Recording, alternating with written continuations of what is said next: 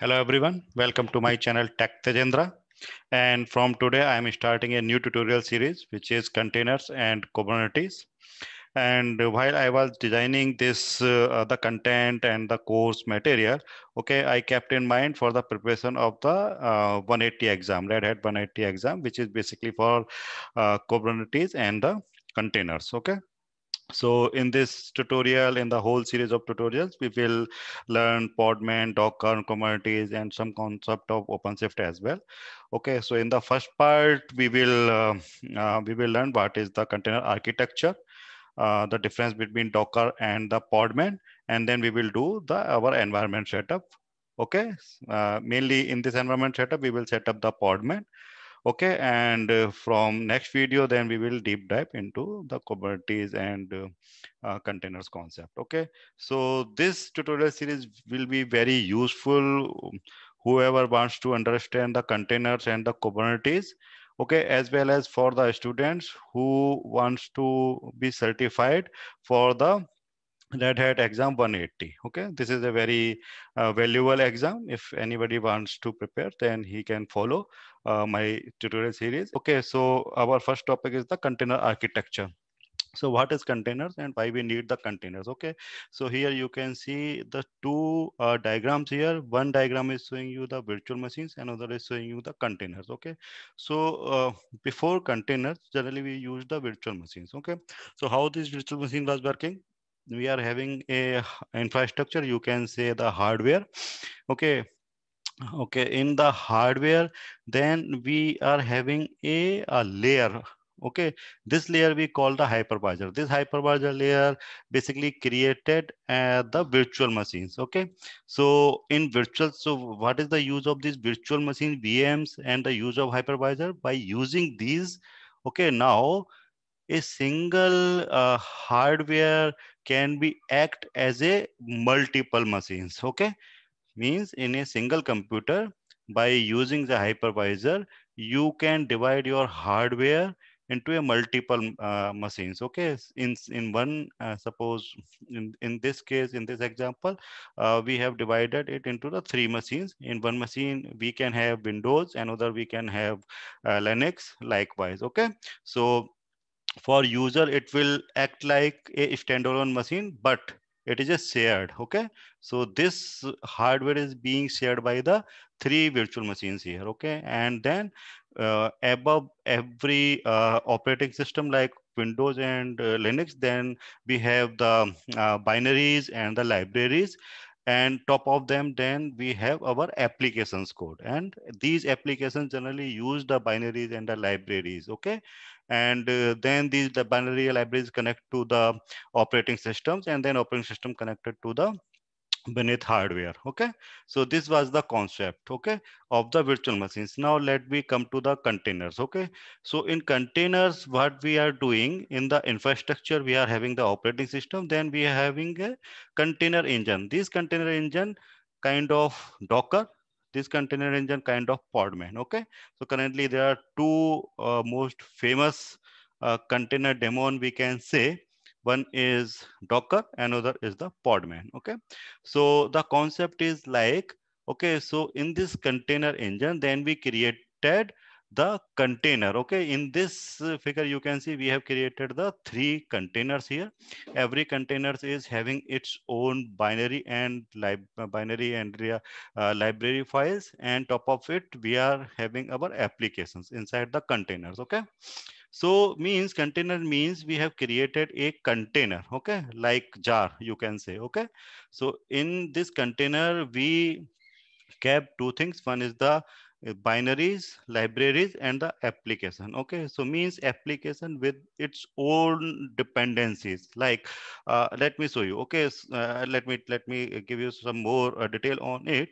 Okay so uh, container worked on a base image. Okay this base image can be any kind of base image maybe uh, maybe your code require um, suppose uh, RHEL, okay, uh, Red Hat Enterprise Linux to be to run your application, okay, but your operating system might be uh, any uh, Windows, suppose, okay.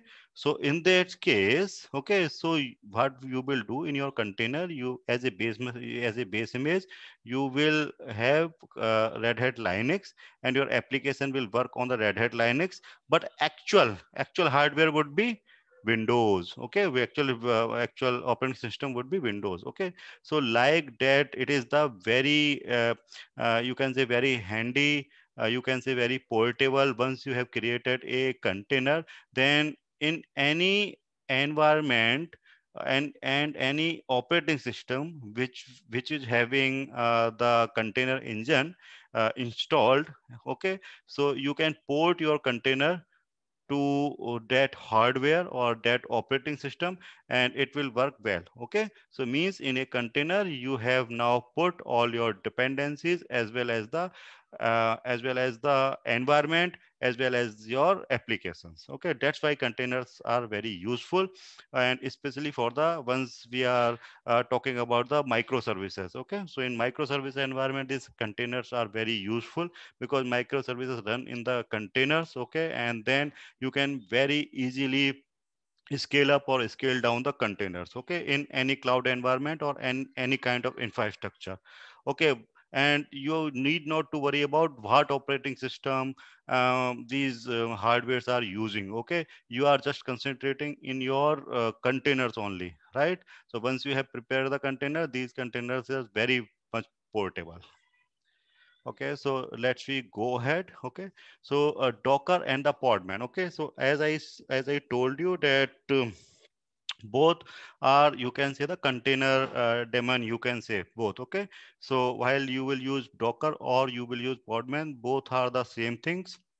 Whatever command you uh, you must heard about docker because docker is the most popular one.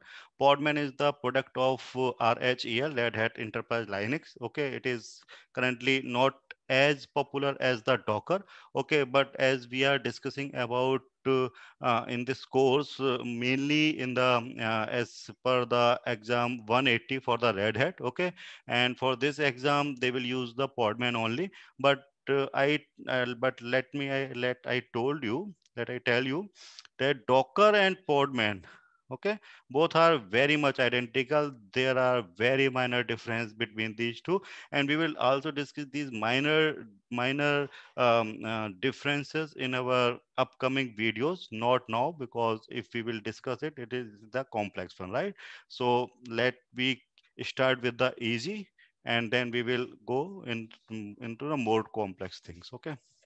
So uh, let we move ahead. So let we uh, uh, do our environment setup okay? So let me show my environment here.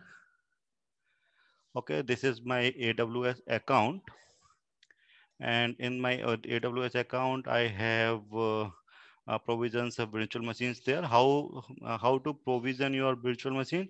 Uh, there are a lot of tutorials available in the youtube. You can check them okay in this tutorial my focus is not on cloud and not to how to set up virtual machines and everything my focus is on the containers and the Kubernetes. Okay, that's why I am not going into deep into this. You can find many more tutorials for uh, setting up virtual machines. So here I have set up this virtual machine and this virtual machine uh, I have chosen is having, let me show you, it is having Red Hat Enterprise Linux, okay, RHEL 8.3 okay and it is the requirement for your certification examinations also right so every examples every everything we will uh, do in the uh, in this uh, RHEL uh, 8.3 machine. Okay, so this machine I have uh, provisions. This machine is currently running, and I have connected it from the PuTTY software. Okay,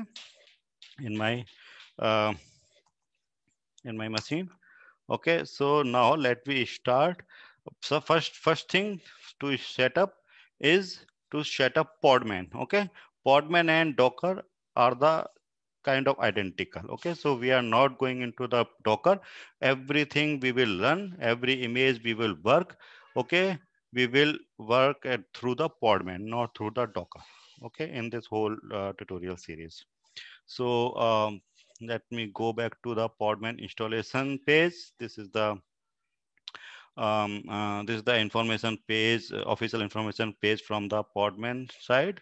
Okay, so here uh, you can see the uh, Podman installation instruction for uh, Mac, for Windows, and like for Linux distribution, Amazon Linux, CentOS, uh, Debian, Fedora.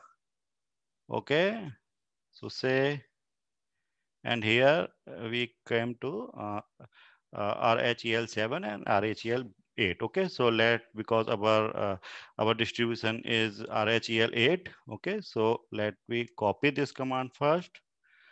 Go to our virtual machine. Okay, and let's run it. Okay, first command completed. Now let me run second command here.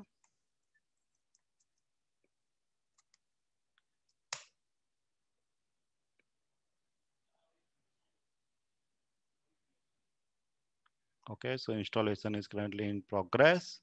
So it is installing Podman into this virtual machine.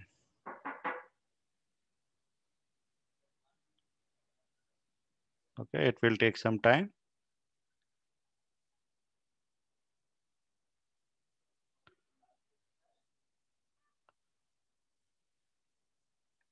Okay, it is progressing and it is almost done.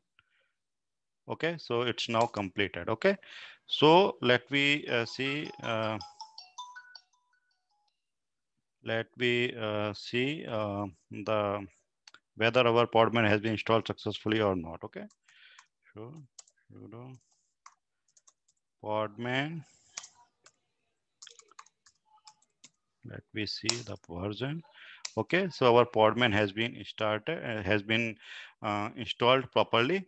Okay, so so that's all for today's video. And from next video, now we will deep dive. Okay, into the more details. Thanks everyone.